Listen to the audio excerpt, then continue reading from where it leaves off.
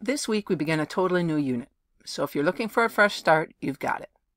So get focused.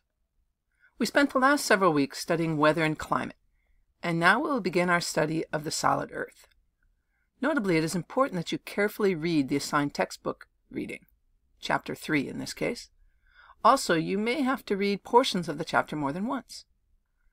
This week's video clips stress some of the most important concepts in the chapter, but it's not all inclusive. For example, I don't address geologic time in the video clips, but geologic time is still a very important concept. Be sure you read your chapter well. Okay, we will now begin our study of geomorphology. If you break down the word geomorphology, you can see it literally means earth, form, study.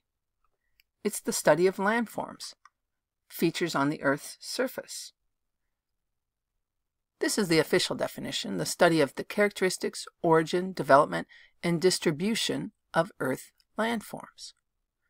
So the next question, I guess, is what do we mean by landforms? A landform is any distinct geographic feature that we see on the Earth. We'll be looking at different landforms, volcanoes, mountains, alluv alluvial fans, coastlines, horns, arêtes, etc. And we'll be studying how and why they form, their structure, their composition, how the features change over time, and where and why we find them. Pretty cool stuff, really. And it's pretty neat to be able to read the landscape like that. Take a few moments to look at the photos shown on this page. The one on the right is the opening photo from the chapter. If you didn't do so when you read the chapter, go back and read the Seeing Geographically questions at the beginning and end of the chapter. I encourage you to make a point of reading the, the Seeing Geographically questions in each chapter. Great photo, huh? What climate appears to exist in this region? And why would you say that? How would you describe the rocks and the landforms? And what do you think caused some of these features that you see in this figure on the right? Based on your textbook reading, what type of rocks do you think are present in this photo? Why? Anyway, the American Southwest is a great place to study rocks and landforms because they're readily available for us to see them. And this picture here is in Bryce National Park in Utah. As we begin our study of Earth landforms, we first need to have a general understanding of the Earth's structure and composition. How is the Earth put together? And what is it made out of? Well, first, the Earth has a layered structure. And notably, there are two ways that we can discuss the layered structure of the Earth. We can identify the Earth's layers based on the composition of the layers, that is, what the rocks are made of, or we can identify the layers based on the physical properties of the layers, how they act. First, we'll discuss the Earth's layers based on composition. There are three layers, each made of a different material. The layers are called the crust, the mantle, and the core. You should memorize these three terms and also memorize what they are made out of. First, we'll begin with the crust, the outer layer, shown here as well. So this crust is the outer layer, and obviously the Earth's crust is made out of many different rocks. Otherwise, rock identification in geology lab would be pretty easy, right? However, we can make some pretty good generalizations to try to simplify things a bit. In particular, if we're looking at what the crust is composed of in the ocean, the ocean crust is made out of a rock called basalt, which is a dense black volcanic rock. Other things to note about the oceanic crust is it's only about five miles thick, which is very thin compared to the 7,900 mile diameter of the Earth. So this basalt contains a lot of iron and is quite dense, roughly about 3 grams per centimeter cubed. On the continent, there's different rocks that dominate. And of course, the continental crust is really composed of many different rocks, but overall the composition approximates granite. So we say the continental crust is composed of granite. Another thing you can see on this diagram is that the continental crust is much thicker than the oceanic crust. On average, it's about 25 miles thick. And this granite that makes up the continental crust is much less dense than the oceanic crust.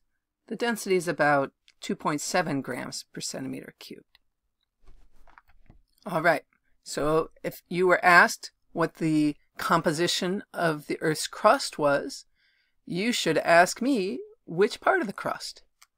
The oceanic crust is made out of basalt, and the continental crust is made out of granitic material, granite. Next, we'll move deeper into the Earth, and we're in the layer called the mantle. The mantle makes up the greatest percentage of the Earth in terms of the three layers, and over 80% of the Earth by volume would be considered mantle material.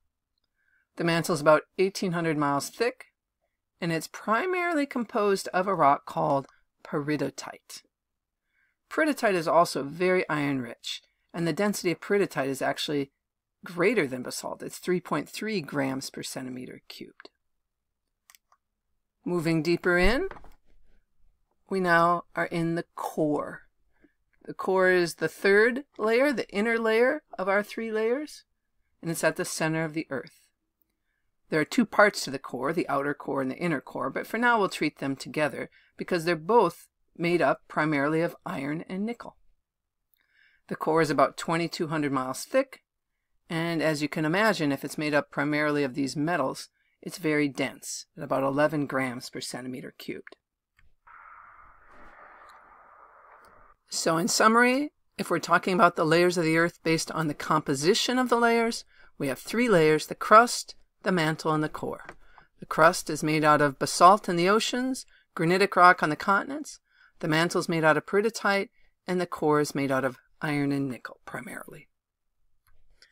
Next, let's discuss the Earth's layers based on how the different layers act, their physical properties. There are five layers if we focus on the physical properties of the layers. For physical properties, for our purposes, we're going to be primarily interested in whether the layer is solid or not solid. So there's five layers based on physical properties. The lithosphere, the asthenosphere, the lower mantle, which some textbooks call the mesosphere, the outer core, and the inner core. On this diagram, you can see that only three of the layers are shown, the lithosphere, the asthenosphere, and the lower mantle. But on the other future diagrams, we'll see the outer and inner core as well. So first let's consider the outer layer, the lithosphere. In terms of its physical properties, the lithosphere behaves as a solid, rigid rock. And you knew this. You don't see pools of magma when you go hiking. The prefix lith means rock. And notice here that the lithosphere contains all of the crust and the top of the mantle. That's very important. It's not just crustal material, it's the crust and the top of the mantle. Also, importantly, the lithosphere is what makes up the plates of plate tectonics, which we're going to discuss next week. The next layer down is called the asthenosphere. This is all mantle material, so it's peridotite.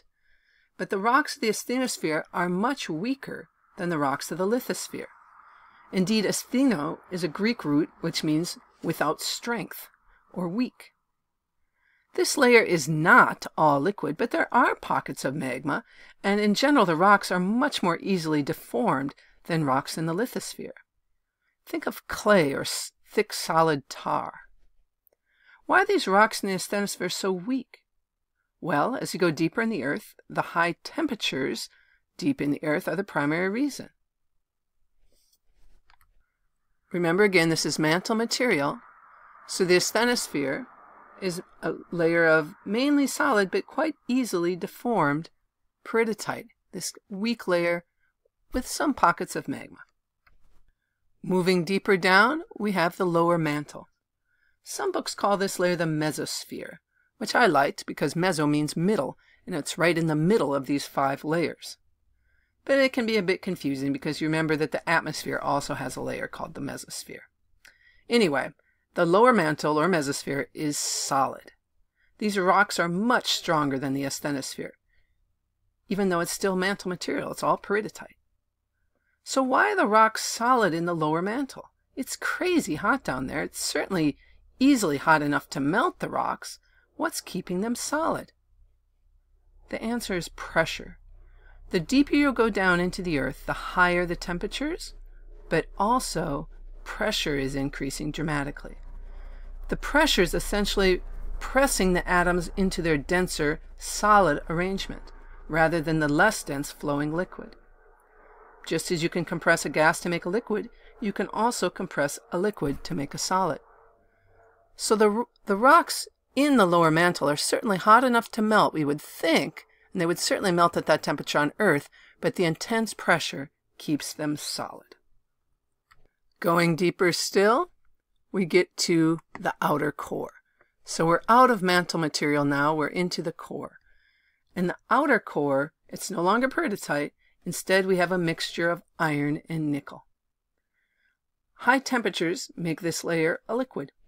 The liquid outer core has convection currents within it. Indeed, the moving liquid iron is what's creating our Earth's magnetic field. And there's still a whole lot that we don't understand about the outer core. Finally, at the center, we have the inner core, also made out of iron and nickel. But the intense pressure at the center of the Earth makes this layer solid. Pause the video here and answer these questions before moving on to the next video clip.